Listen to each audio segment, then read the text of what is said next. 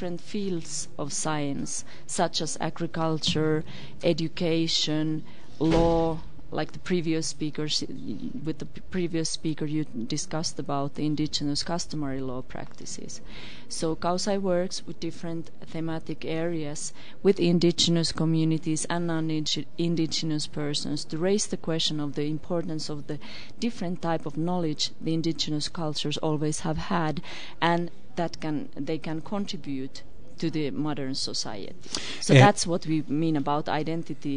That if, um, if people are strong about their own identity, they also recognize the value of their own knowledge and the the value uh, of their of their own culture and can uh, bring it to the to the outer society. Well, uh, and I think that brings up a whole other concept when we're looking at the Eurocentric model, where a lot of people are only feel comfortable with uh, with the new stuff that they have, whether the new TV, the new cell phone, or whatever, and recognize the the power that a traditional person has inherent in their way of life, and to develop the self esteem and uh, recognition of that their tools, although you know socially are uh, kind of disbanded or, or frowned upon, are actually the tools or the keys for our mutual uh, survival.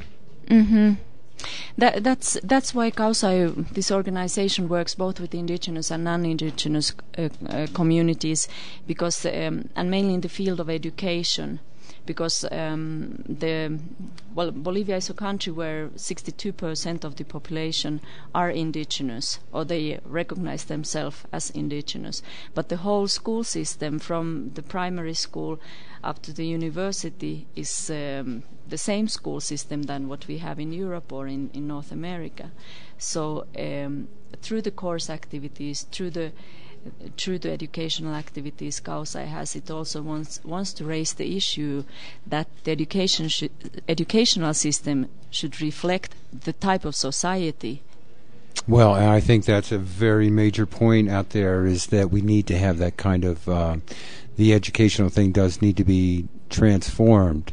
The culture is. Um, I always try to get my kids to quit school uh, because I, of that very fact is that you know to be socialized into a consumer world um, and to be just another cog in it did not seem that they're my kids are intelligent enough uh, to you know with you know homeschooling kind of scenarios that you can learn a whole lot um, and with the indigenous culture you know you have to be living on the land to really appreciate all that so once again we're speaking with Uh, my name is Tiina Saaresranta. I'm originally from Finland, but since many years I live in Bolivia and I'm involved with this this um, organization called KAWSAY. KAWSAY is a word in the Quechua language and means the life. and what about uh, website emails yes, we have um, a website www.kawsay k a w s a. we'll have to get you to read it into the mic one yeah, more maybe time you can read it. Oh, okay, here we go. My spelling is Uh, not well- so good. well, it's uh, it, my eyes aren't so good. So uh, between us, we make a good pair. Okay, so it's Centro. Okay, Cale. No, see, that's the address. Where's the name of the organization? Okay, website triple W K A W S A Y dash U N I K dot org. Uh, and the name of the organization is Kawsay and that's K A W S A Y. And is there anything that you would specifically like to leave with the folks out there in reference to the work that your group is doing and an action or something that folks could mobilize to facilitate uh, sort of the reemergence of a indigenous understanding of culture, education, seeds? It seems like you guys are working on that whole scenario. Um, the main focus of KAWSAY has to has been to to raise the de- debate, to raise the issue of what kind of education uh, people have in Bolivia, and also the the issue that indigenous peoples, indigenous cultures have a lot to offer. Uh, not to be treat uh, well in Bolivia we have this educational reform since a bit more than 10 years, which for the first time recognizes that indigenous children and youth have the possibility to be taught during the first years of primary school in their own languages. But that's the only uh, uh, part of the indigenous cultures that is being taken into account in the school system. So we think that the indigenous cultures have also a lot of uh, other things to contribute within the educational system as what comes to the methods of, of teaching, the objectives of teaching, why why people are at this school, um, and uh, and their sciences, their arts, their technologies. How many folks are in the school?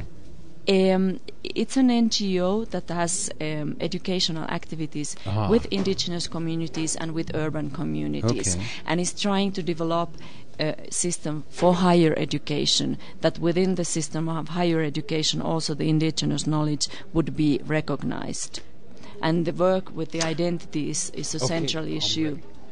And um, Please. and that sort of brings back the traditional way of life. Is Yes. that the, if you want a good education within traditional ways of life, you need to move back to the land.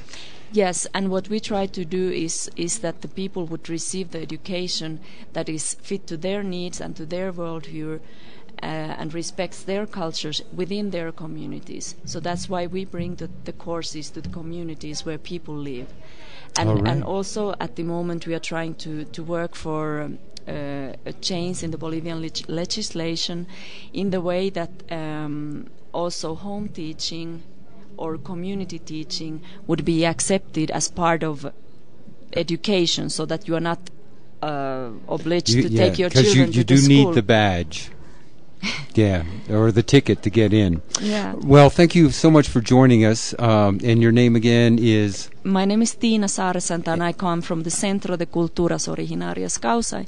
So if there is anybody who is listening to this and is working with similar issues, we would be very happy to have some exchange and contacts with people from, the from world. the listeners. And that that is K A W S A Y. Thank you so Thank much. you. All right, you're listening to www.earthcycles.net.